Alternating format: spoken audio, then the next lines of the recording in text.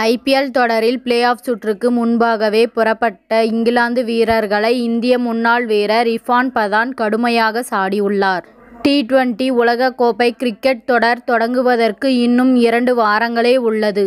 இதற்கு தயாராகும் வகையில் இங்கிலாந்து கிரிக்கெட் வாரியம் தரப்பில் பாகிஸ்தான் அணிக்கு எதிரான டி டுவெண்டி தொடர் ஏற்பாடு செய்யப்பட்டுள்ளது. இதில் பங்கேற்க இங்கிலாந்து அணி வீரர்கள் அனைவரும் கண்டிப்பாக வரவேண்டும் என்று அறிவுறுத்தப்பட்டன. இதனால் ஐபிஎல் தொடரில் விளையாடி வந்த வீரர்களும் நாடு திரும்பிவிட்டனர். ராஜஸ்தான் அணிக்காக ஆடிய பட்லர் பஞ்சாப் அணிக்காக ஆடிய Sam Curran Livingstone Woakes CSK அணிக்காக ஆடி வந்த மோகின் அலி ஆர்சிபி அணிக்காக ஆடி வந்த வில்ஜாக்ஸ் கேகேஆர் அணிக்காக ஆடிய பில் சால்ட் உள்ளிட்ட பலரும் நாடு திரும்பியுள்ளனர். இதனால் ஐபிஎல் தொடரில் ஆடி வரும் பல்வேறு அணிகளும் சிக்கலை சந்தித்து வருகின்றனர். ஏனென்றால் லீக் போட்டிகள் முடிவடைய உள்ள நிலையில் இன்னும் சில நாட்களில் பிளே ஆஃப் சுற்றுக்கு போட்டிகள் நடக்க உள்ளது.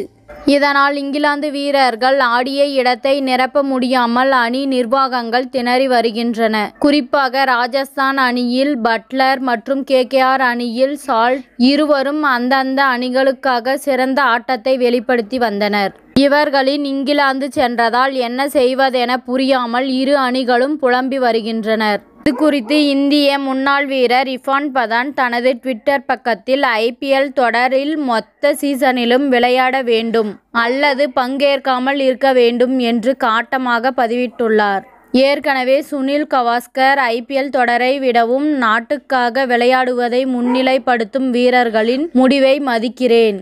ஆனால் ஐபிஎல் தொடரில் இருந்து பாதியில் விலகும் போது அது அணிகளை பாதிப்படைய செய்கிறது. வீரர்கள் பெரும் சம்பளத்தை குறைக்க ஐபிஎல் அணிகளுக்கு உரிமை கிடையாது. அதேபோல் வீரர்களின் சம்பளத்தில் இருந்து பத்து சதவிகிதம் கமிஷனுக்காக அந்தந்த கிரிக்கெட் வாரியங்கள் பெறுகின்றன என்று விமர்சித்துள்ளார். இத்துடன் இந்த செய்தி முடிவடைகின்றது. நன்றி வணக்கம். மீண்டும் அடுத்த வீடியோவில் சந்திப்போம். மேலும் இது போன்ற சுவாரஸ்யமான தகவல்களை அறிய தமிழ் சிறை சேனலை சப்ஸ்கிரைப் பண்ணுங்க. ஷேர் பண்ணுங்க லைக் பண்ணுங்க மற்றும் கமெண்ட் பண்ணுங்க.